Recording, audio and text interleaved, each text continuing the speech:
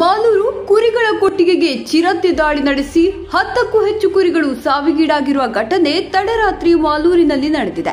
ಮಾಲೂರು ತಾಲೂಕಿನ ಮಾಸ್ತಿ ಹೋಬಳಿಯ ಸುಗಂಡಹಳ್ಳಿ ಗ್ರಾಮದಲ್ಲಿ ತಡರಾತ್ರಿ ಚಿರತೆ ದಾಳಿ ನಡೆಸಿ ಹತ್ತಕ್ಕೂ ಹೆಚ್ಚು ಕುರಿಗಳನ್ನು ಕೊಂದು ರಕ್ತ ಹೀರಿರುವ ಘಟನೆ ನಡೆದಿದೆ.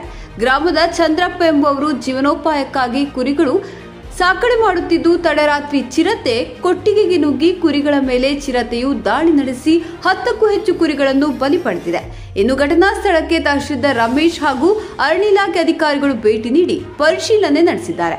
ಇನ್ನು ಜೆಡಿಎಸ್ ಅಭ್ಯರ್ಥಿ ಜಿ ರಾಮೇಗೌಡ ಚಂದ್ರಪ್ಪನವರ ಮನೆಗೆ ಭೇಟಿ ಕೊಟ್ಟು ಸುದ್ದಿಗಾರರೊಂದಿಗೆ ಮಾತನಾಡಿ, ರೈತರ ಬದುಕಿಗೆ ಆಧಾರವಾಗಿದ್ದ ಕುರಿಗಳ ಮೇಲೆ ತಡರಾತ್ರಿ ಚಿರತೆ ದಾಳಿ ಮಾಡಿ ಚಂದ್ರಪ್ಪನಿಗೆ ನಷ್ಟ ಉಂಟಾಗಿದೆ. ಈ ಕೂಡಲೇ ಜನಪ್ರತಿನಿಧಿಗಳು ಹಾಗೂ ಅಧಿಕಾರಿಗಳು ಅವರಿಗೆ ಪರಿಹಾರ ನೀಡಬೇಕು ಮತ್ತು ತಮಿಳುನಾಡು ಗಡಿಭಾಗದಲ್ಲಿರುವ ಗ್ರಾಮಗಳಿಗೆ ಅರಣ್ಯ ಇಲಾಖೆ ಅಧಿಕಾರಿಗಳು ಭೇಟಿ ನೀಡಿ ಪರಿಶೀಲನೆ ನಡೆಸಿ ವನ್ಯಜೀವಿಗಳು ಗ್ರಾಮಗಳಿಗೆ ಬಾರದಂತೆ ಮುನ್ನೆಚ್ಚರಿಕೆ ವಹಿಸಬೇಕು ಎಂದರು. ಓಕೆ. ನಿನ್ನೆ ರಾತ್ರಿ ಈ ಸುಗ್ಗಂಡಳ್ಳಿ ಗ್ರಾಮದ ನಮ್ಮ ಮುಖಂಡರಾದಂಥ ಚಂದ್ರಪ್ಪನವರ ತೋಟದಲ್ಲಿ ಪಾಪ ಒಂದು ನೂರು ಕುರಿಗಳನ್ನು ಸಾಕಿದರು. ಅದರಲ್ಲಿ ಒಂದು ಹನ್ನೊಂದು ಕುರಿಯನ್ನು ಯಾವುದೋ ಚಿರತೆ ಅಂತ ಹೇಳ್ತಾರೆ. ನಿನ್ನೆ ರಾತ್ರಿ ಮಳೆ, ತುಂಬ ಮಳೆ ಇದ್ದಿದ್ದರಿಂದ ಇವರು ಗಮನಿಸಲಿಲ್ಲ. ರಾತ್ರಿ ಬಂದು ಪಾಪ ಹನ್ನೊಂದು ಕುರಿಗಳನ್ನು ಸಾಯಿಸಿದೆ. ಪಾಪ ತುಂಬ ನಷ್ಟ ಆಗಿದೆ ಅವರಿಗೆ. ಪಾಪ ರೈತರು, ಈ ಭಾಗದಲ್ಲಿ ಪಾಪ ಬೆಳೆಗಳು ಇಲ್ಲ, ನೀರು ತೊಂದರೆ.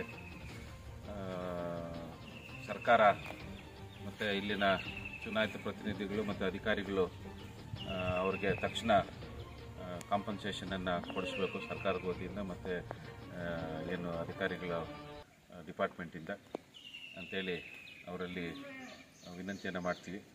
ಮತ್ತು ಈ ಈ ಭಾಗದಲ್ಲಿ ಅಂಥ ಈ ಮೃಗಗಳು ನಾವು ಇದೇ ಸುಮಾರು ವರ್ಷಗಳಿಂದ ಫಸ್ಟ್ ಟೈಮ್ ನಾವು ಈ ಥರದ ಘಟನೆಯನ್ನು ನೋಡಿರೋದು.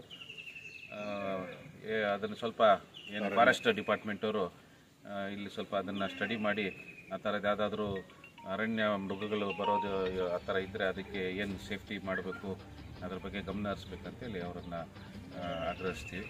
ಮತ್ತು ನಾವು ಜೊತೆಯಲ್ಲಿದ್ದೀವಿ ನಮ್ಮ ಚಂದ್ರಪ್ಪನವ್ರಿಗೆ ನಮ್ಮ ಮುಖಂಡರಿಗೆ.